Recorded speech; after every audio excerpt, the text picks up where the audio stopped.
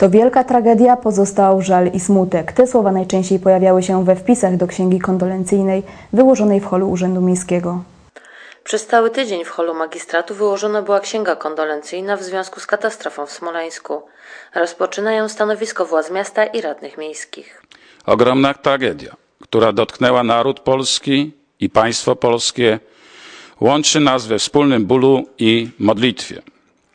Tragiczna śmierć prezydenta Rzeczypospolitej Polskiej Lecha Kaczyńskiego i jego małżonki Marii Kaczyńskiej oraz osób im towarzyszących, reprezentujących naród polski w rocznicę mordu katyńskiego staje się symbolem wpisującym się w historyczne dzieje państwowości polskiej i dążeń narodu polskiego do zachowania podstawowych wartości, jakimi są niepodległy byt narodu i szacunek dla ofiar poniesionych w walce o suwerenność i tożsamość narodową.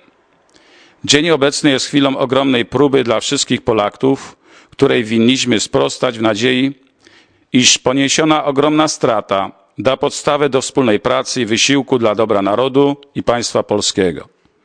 Oddajemy głęboką cześć zmarłemu tragicznie prezydentowi Rzeczypospolitej Polskiej, jego małżonce oraz zmarłym osobom im towarzyszącym, reprezentującym najwyższe instytucje publiczne, polityczne, duchowieństwo oraz instytucje społeczne i samorządowe państwa polskiego. Cześć ich pamięci.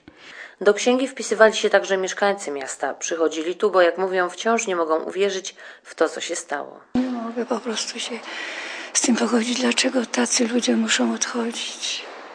Tak niespodziewanie jeszcze. A Maria Kaczyńska, to ja ją uwielbiałam za to, że była taka naprawdę spokojna, cicha i taka naturalna.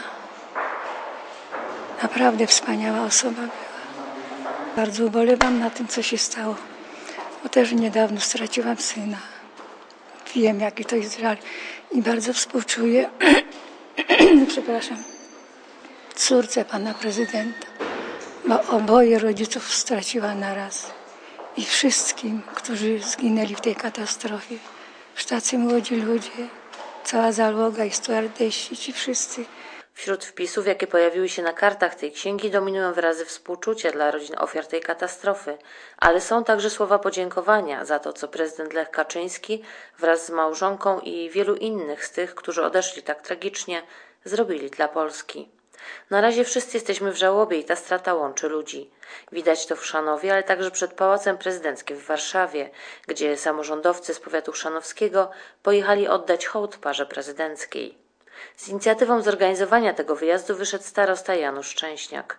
Chrzanów reprezentowali burmistrz Ryszard Kosowski i przewodniczący Rady Miejskiej Krzysztof Zubik. Wcześniej z panem przewodniczącym oświeciliśmy znicze, które mieliśmy w imieniu no, naszej delegacji, samorządu Chrzanowa, ale również e, jako reprezentanci Chrzanowa, to i w imieniu mieszkańców Chrzanowa zapaliliśmy te znicze e, właśnie przed Pałacem Prezydenckim.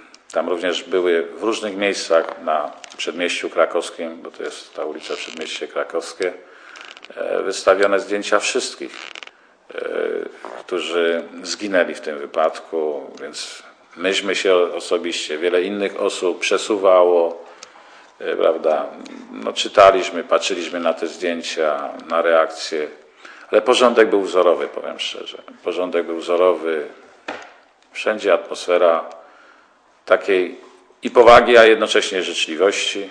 W tych tragicznych chwilach do Chrzanowa płyną też słowa współczucia i kondolencje od przyjaciół z Ukrainy, Węgier, Francji czy nawet Izraela. Jak podkreśla wiceburmistrz Stanisław Dusza, nie były to okolicznościowe formuły, ale słowa płynące prosto z serca. Widzi się to szczególnie w tych sytuacjach ekstremalnych, bo jeżeli wszystko przebiega normalnie, z uśmiechem na ustach, to nie, nie wiadomo, czy to jest serdeczność, bo jest dobrze, czy jest to serdeczność, bo tak wypada. Ta ekstremalna sytuacja pokazała, że naprawdę y, ludzie, z którymi współpracujemy, podchodzą do tego bardzo poważnie i pokazują to swoje człowieczeństwo. I tu widać, myśmy wspierali naszych zaprzyjaźnionych mieszkańców na Ukrainie w czasie powodzi, gdy ich dotknęła powódź. gdy y, pojawiła się pandemia świńskiej grypy nie tak dawno, wspieraliśmy ich.